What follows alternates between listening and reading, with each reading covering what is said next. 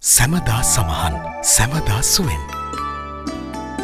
සැමටම ඉංග්‍රීස් ශ්‍රී ලංකාව ඉංග්‍රීසි සාක්ෂතාවය පුළුල් කිරීම පිණිස ජාතික වැඩපිල්ලක් සකස් කිරීම අවශ්‍යයි. විශ්ව තිස්සතරවනිට ඉංග්‍රීසි භාෂා සාක්ෂරතාවය සෑමට ලබාදීම මේ අරමුණ. දසවසරක් පුරා ක්‍රියාත්මක වෙන මේ වැඩසටහන් ඇරඹීන රුපියල් මිලිය පන්සීයක් වෙන්කර තියෙන දැන්ටම ඇමතුමා ඒ වැඩ කටයුතු ගැන ක්‍රියා කරනවා. දෙදස් දාසයවාසය හඳුන්වා දෙන ලද දැනට ක්‍රියාත්මක නොවන සුරක්ෂා සිසු රක්ෂණ යෝජනා ක්‍රමය නැවතත් හඳුන්වාදීමට යෝජනා කරනවා. ඒ අනුව සියලු පාසැල් සිසුන්ට හට මෙම රක්ෂණ ආවානය ලබා ගැනීමට හිමිකම් ලැබෙනවා. ඒකට සහයෝග දෙනවා අපි ආණ්ඩුව හැටියටනේ කරේ. කැමතියි. මරික් අමාත්‍යතුමා නම් මේකට කැමතියි.